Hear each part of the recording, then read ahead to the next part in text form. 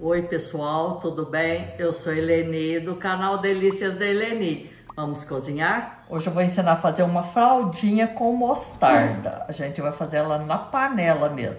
Aqui eu tenho 2 quilos de fraldinha, uma colher e meia de sopa de mostarda, duas colheres de sopa de azeite, uma folha de louro, uma colher de café de pimenta do reino e sal a gosto. Agora aqui, ó, a gente vai colocar o sal desse lado, mais um pouco sal, gente. A gente coloca e depois experimenta para não salgar. Aí a gente esfrega, ó. Esfrega dos dois lados.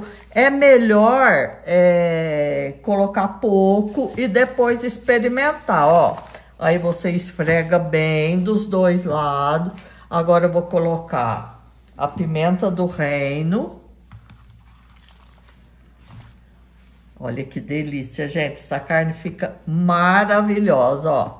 Pimenta do reino. Agora a gente vai passar a mostarda de todos os lados.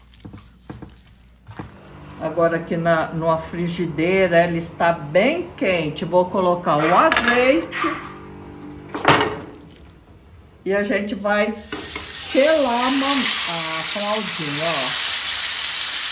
Gente, ó, tá aqui na frigideira, tem que selar bem para criar uma casquinha na carne. Então, tô selando a parte de baixo, aí a hora que eu for virar, eu mostro pra vocês. Gente, ó, tô selando a gordura primeiro, agora eu vou virar, ó. Tem que criar uma casca, criar uma casca pra carne ficar suculenta. Criou a casquinha, gente, agora, ó, Vou colocar a água quente. Vai fazer uma fumaceira, olha.